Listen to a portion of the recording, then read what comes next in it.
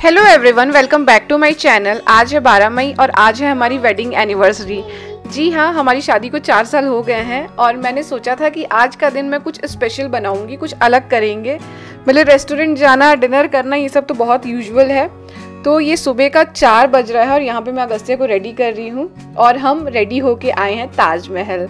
क्योंकि हमको यहाँ कराना है फ़ोटोशूट पता है, मैं बहुत मन था कि मैं प्री वेडिंग शूट ताजमहल में कराऊँ but due to some circumstances और फैमिली और फाइनेंशियल ये सब, वो सब देखते हुए ये चीज़ सक्सेसफुल नहीं हो पाई।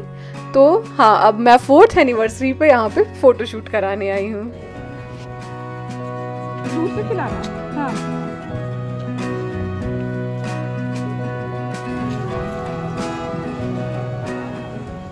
हमने तो प्लान किया था कि हम कैसे भी छः बजे तक वहाँ पहुँच जाएँगे और फ़ोटोज़ क्लिक कराना शुरू कर देंगे बट हमको थोड़ा सा लेट हो गया।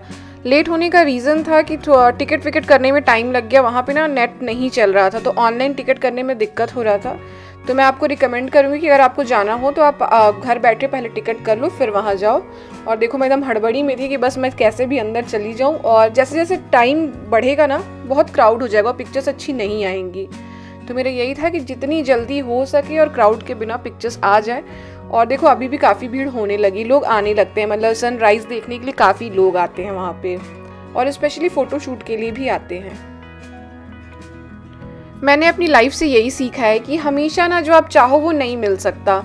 लेकिन जब भी आपको अपनी ख्वाहिशें पूरा करने का मौका मिले तो आप ज़रूर कर लो। अगर मैं अभी सोचती कि अब क्या शूट कराना, अब क्या फ़ोटो खिंचवाना तो मैं ये चीज़ नहीं कर पाती। लेकिन मैंने सोचा कि ठीक है यार, अभी मौका मिल रहा है, अभी कर लो। कानपुर से आगरा ज़्यादा दूर है नहीं तो यहाँ जब हैं तो बिल्कुल करा लेना चाहिए ऐसा फ़ोटोशूट और ये हम बहुत पहले करा लेते अगर कोविड और लॉकडाउन रहा तो इसलिए वजह से ये थोड़ा सा डिले ही हो गया है। और अच्छा है ना बगस्ते के साथ हो रहा है हमारा फ़ोटोशूट ताजमहल एक ऐसी जगह है ना कि अगर आपको कभी भी मौका मिले मतलब लाइफ में एक बार तो आप ज़रूर जाइएगा, वहाँ पे गाइड हायर कीजिएगा और फिर आप उनके थ्रू ये घूमिएगा तो आपको गजब का ही आर्किटेक्ट देखने को मिलेगा।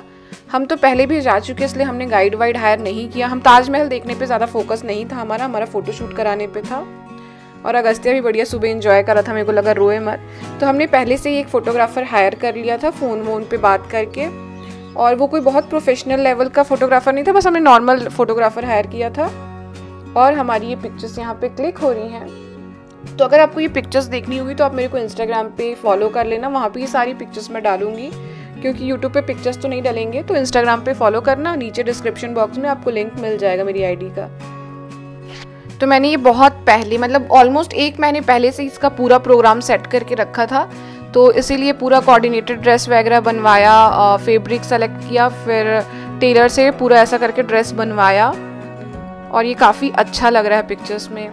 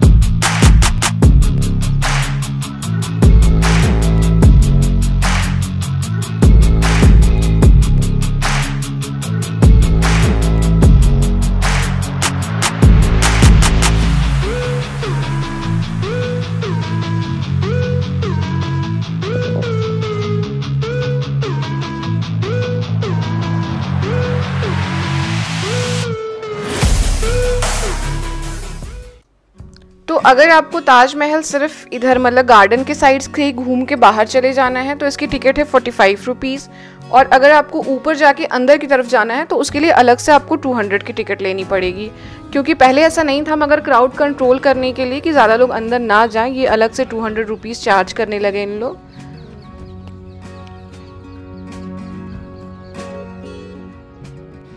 तो हमारा फ़ोटोशूट ऑलमोस्ट हो गया है। मुश्किल से forty five to fifty minutes लगा। उसके बाद हमने सोचा कि थोड़ा सा घूम लेते हैं ऐसे ही।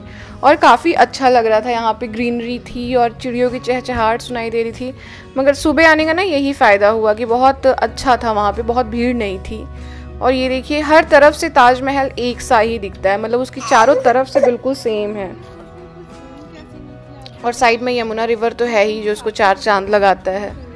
मतलब आप अगर नहीं गए हो तो आप एक बार अपनी लाइफ में ज़रूर जाना यहाँ पे, इसका आर्किटेक्ट देखना और वहाँ के गाइड से समझना कि क्या कैसा है, कहाँ से क्या चीज़ दिखती है। मतलब पानी में जो ताजमहल का पूरा रिफ्लेक्शन दिखता है, जो सामने पानी है तो वो सब बहुत सुंदर है। यहाँ से लाल किला भी दिखता है।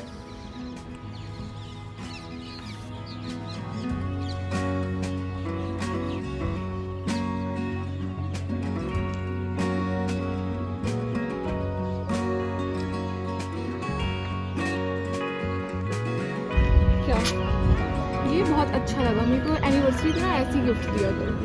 मटेरियल थिंग तो मिल जाता है कभी भी। ये गिफ्ट देखो फ़ोटोज़ खिंचाए तो वो भी अच्छा था। हमेशा साथ रहेगा। और ताजमहल कैसे भी सिंबल ऑफ़ लव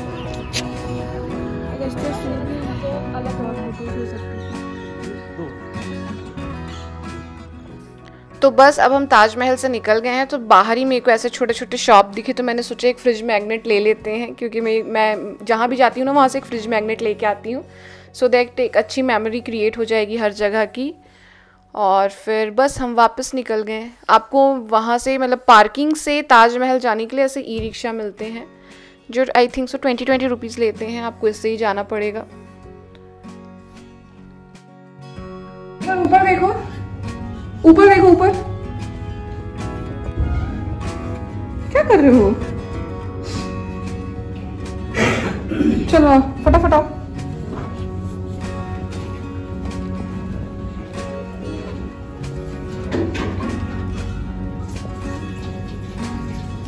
ना एक पेस्ट्री ला के रखा था कि हम इसको 12 बजे रात को कट करेंगे बट हमको जल्दी सुबह उठना था और हम काफ़ी थक भी गए थे। तो हम सो गए, हमको बारह बजे होश ही नहीं था। तो ये पेस्ट्री हम अभी सुबह कट कर रहे हैं।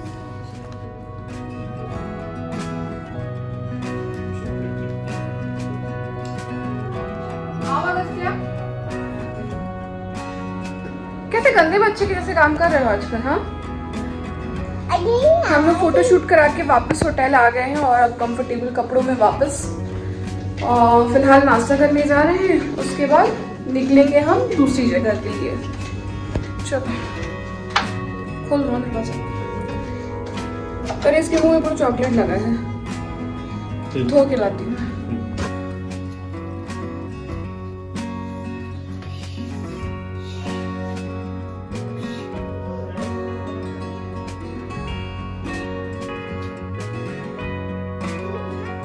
देखो।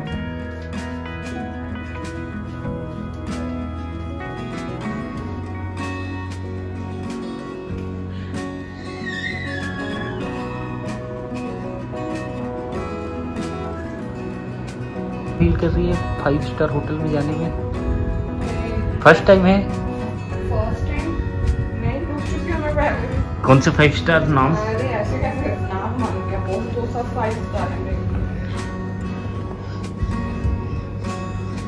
एक नाम बताए कोई फाइव स्टार होटल जिसमें रुकी हैं आप? आ, वो स्टर्लिंग नहीं थे क्या फाइव स्टार नहीं। मैं तो फाइव स्टार समझ के रुकी थी ना इसलिए फाइव स्टार ही था।